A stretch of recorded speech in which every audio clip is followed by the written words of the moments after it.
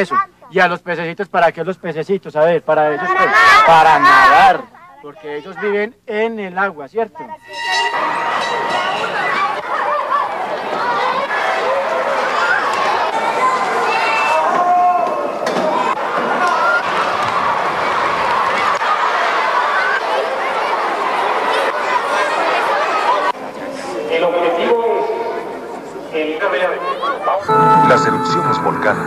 No nos tomarán.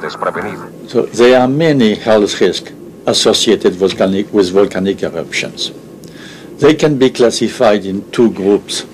One as a public health problem, which are associated with normal large population displacement and temporary shelters. Problem for water, problem of food, problem of control of communicable disease, mental health, etc. This is very well known by the health services. It's common to any type of disaster situations. Following a volcanic eruptions, you don't know how long people will stay displaced. It may be a few months, it may be five years or more. You have a second type of a problem, which is an increase in demand, demand for medical attentions, consultations and medical attentions. This is caused by the ashes, by uh, the irritations, uh, by uh, any small problems, which is overwhelming the capacity of the health services, is scaring the public and the politicians, and is practically consuming all your time. The third one is a group of the two real killers of the uh, volcanic eruption. One is a pyroclastic flow, and the second is a mud flow. And we have seen how it can kill. But in Latin America, those two killers together in the past century have been responsible for 99% of the deaths. And uh, we spend most of our time attending what is not really the major public health risk. And what we would like now is to see the attention, the planning, the preparedness, and the response to gear for the real killers. I think the other thing is that from the very beginning of this disaster, I think we should need to understand that volcanic disasters are not like other disasters, short lived. Volcanic disasters tend to drag on for a long time. And from the first sign of any activity, the lesson we've learned is that you've got to dig in and you've got to get your infrastructure firmed up and you've got to have everything right from the beginning because you may have a long haul. But we are not helpless. We can act now. We can plan and be prepared in case of volcanic emergencies. And we can look into ways to prevent problems from happening before eruptions even occur. If we wait for the first tremors or smoke, it will be too late. As leaders in the health sector, there are many things that we can do. Begin by gathering vital information about areas in your country that have active or dormant volcanoes. There are places near dormant volcanoes where people live. I have lived there even for centuries. They have to realize that there is a high risk to live in those areas because evil volcano awakes, especially if it's got a snow-capped top where the heat can produce mudslides like the one in Armero. These people have to be aware that in case it becomes active again, they will have to evacuate the zone rather quickly to places with a higher ground where they can save themselves. Otherwise, they are going to perish, as it has happened in previous emergencies.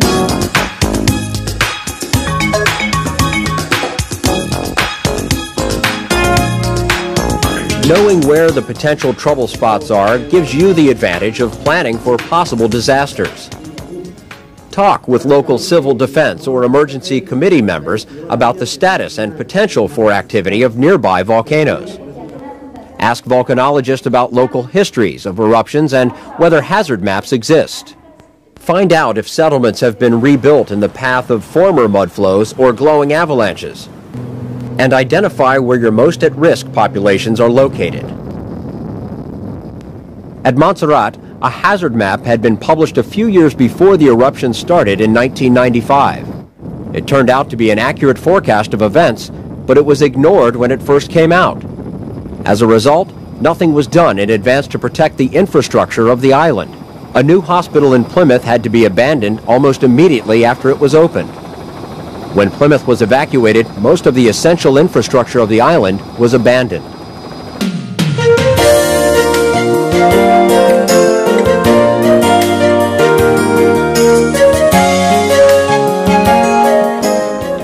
Working with scientists, local leaders, and disaster professionals, develop plans for what would be done in case of the most foreseeable eruption and the worst case scenario. When you're planning, don't forget to consider that ashfall, sometimes lasting for many hours, can block all roads and reduce visibility for days until it rains and clears the air of ash. All water and electricity can stop. There may be radio and telecommunications blackouts. This also affects satellite communications. The assets you plan for will most likely not be available. Have contingency plans for the most anticipated personnel and supply needs. Even with the best of plans, many things will go wrong. You will have to be flexible when parts of your plan may not work well the needs of the island have changed and it's vital to have a, a, a somewhat flexible approach to this. And it's quite clear that um, you know the priorities of the people and the government of Montserrat have changed necessarily so. There is no way that anyone could have predicted uh, two years ago where we, where we would be today. The most important thing to remember is that keeping populations away from the areas around volcanoes is the best way to avoid mass casualties anything you can do to work with planning officials and convince them not to allow communities and health facilities to grow near volcanoes will help prevent deaths and injuries and save governments millions in later costs. When settlements are already located near a volcano, showing any signs of new activity, it is clear that early evacuation of populations away from exposed areas is the best plan.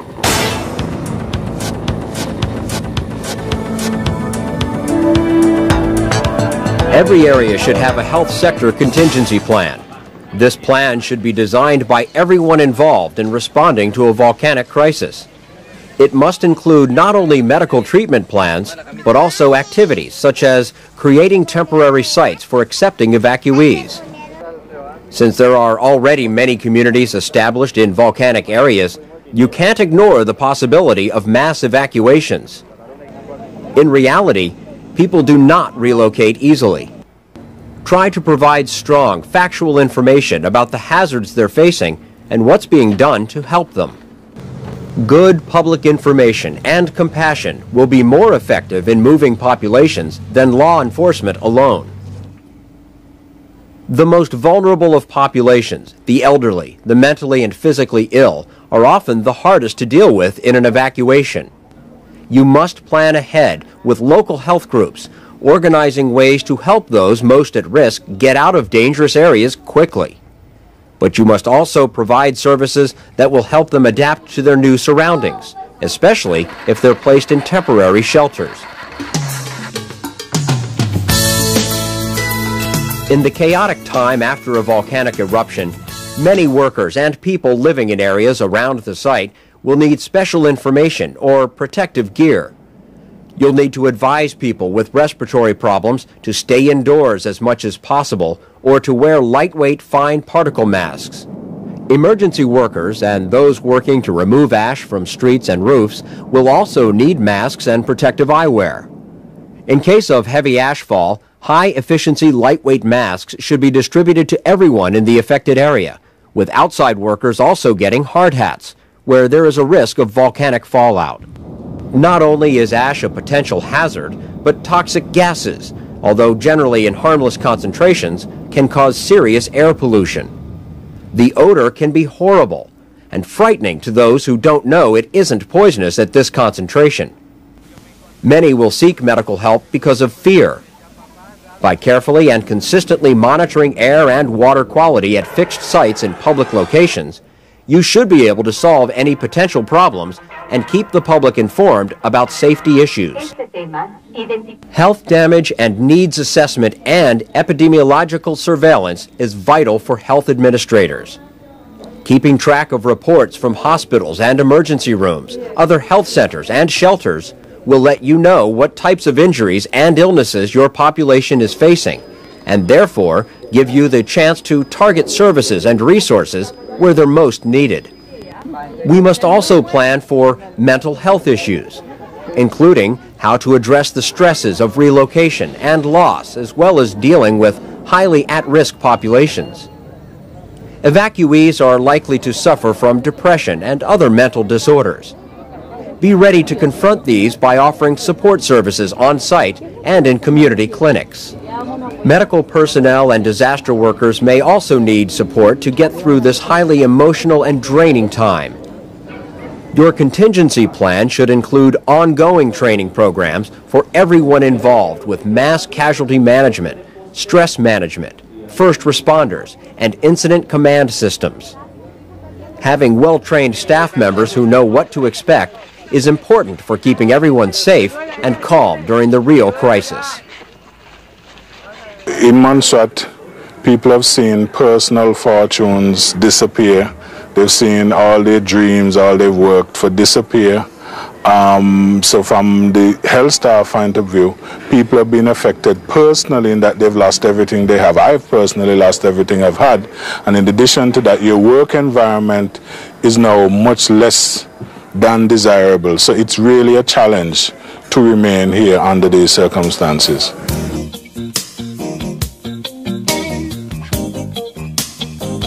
Environmental health issues, such as decent water quality and supply, food sanitation, vector control, sewage and solid waste disposal, and proper disposal of the dead are also part of our responsibilities.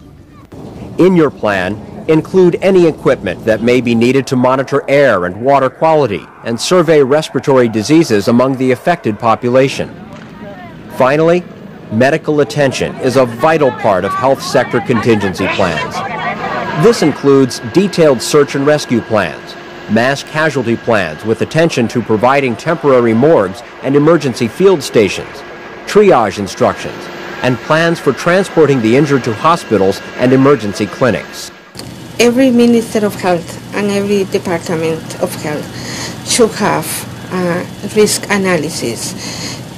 Most important is if they have a volcanic active in the area. This uh, analysis have to include all the area.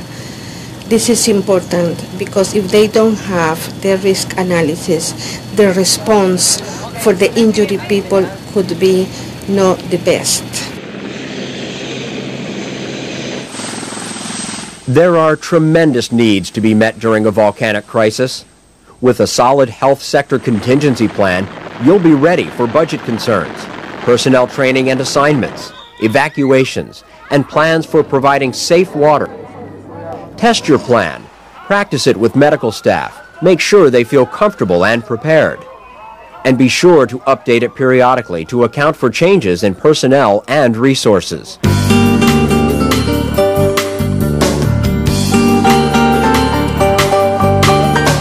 Your input into emergency team planning before, during, and right after an eruption is absolutely essential.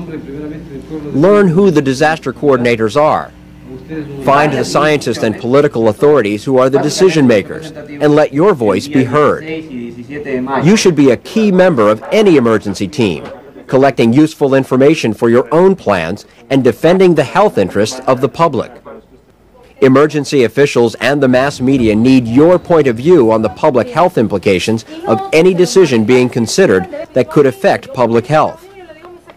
The information you share can alleviate fears, dispel myths about the dangers people are facing, and give them hope about what's being done to lead them back to normal lives.